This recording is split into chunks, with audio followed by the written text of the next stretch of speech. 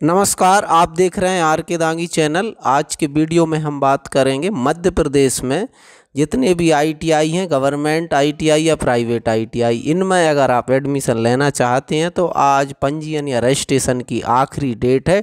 इसके बाद पोर्टल पर आप रजिस्ट्रेशन नहीं कर पाएँगे तो आज ही आप रजिस्ट्रेशन ज़रूर कर लें, क्योंकि आपको बाद में फिर पछताना पड़ेगा कि आप बाद में किसी के पास भी जाएँगे कि हमको आईटीआई में प्रवेश लेना है तो कोई भी आपकी मदद नहीं कर पाएगा।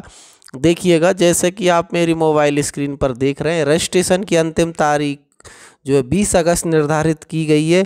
अगर आपने रजिस्ट्रेशन नहीं किया तो तुरंत आप एमपी ऑनलाइन पर जाके रजिस्ट्रेशन करवा लें, या अगर आपको खुद से करना है तो भी आप अपने मोबाइल पे जाके, मोबाइल पर ये I T I M online search करके रजिस्ट्रेशन कर सकते हैं। फ़ोटो और साइन स्कैन करना पड़ता है। ये वीडियो में हम आपको इसलिए आज बना के आप के पास लेके आ रहे हैं, क्योंकि आप अगर रजिस्ट्रेशन नहीं करेंगे तो आपको किसी भी कंडीशन में आईटीआई में प्रवेश नहीं दिया जाएगा तो आप रजिस्ट्रेशन ज़रूर कर लें। रजिस्ट्रेशन के बाद जैसे ही चॉइस फिलिंग चालू होगी तो हम आपको अपडेट करा देंगे। बीस अगस्त के बाद या जिन लोगों ने अभी तक जिनका नाम नहीं आया है किसी भी राउंड में, वो भी वेट करें अगले राउंड में, और जिन्होंने अपग्रेड कर दिया है, वो भी अगले राउंड का वेट करें।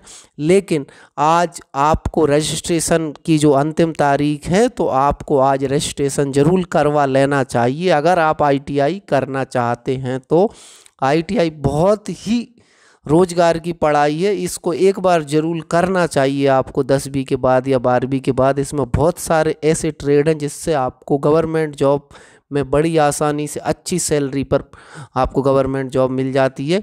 तो आज के वीडियो में इतना ही। फिर मिलेंगे एक नई वीडियो, नई जानकारी के साथ। चैनल पर नए चैनल सब्सक्राइब करके वीडियो को शेयर कर दें, जिससे कि आपके दूसरे जो भी साथी आईटीआई में एडमिशन या आपसे कभी पूछा था आपके दोस्तों ने कि हमें आईटीआई में एडमिशन लेना है तो आज अगर वो रजिस्ट्रेशन नहीं कर पाएँगे तो फिर वो कभी उनका रजिस्ट्रेशन नहीं हो पाएगा तो वो एडमिशन नहीं ले पाएँगे। तो इससे अच्छा है कि आज आप वीडियो शेयर कर दें और जल्दी से आप एम पी ऑनलाइन पर जाके अपना रजिस्ट्रेशन करा लें। आज की आ, आज के लिए इतना ही। फिर मिलेंगे एक नई वीडियो नई जानकारी के साथ। तब तक के लिए बहुत बहुत धन्यवाद।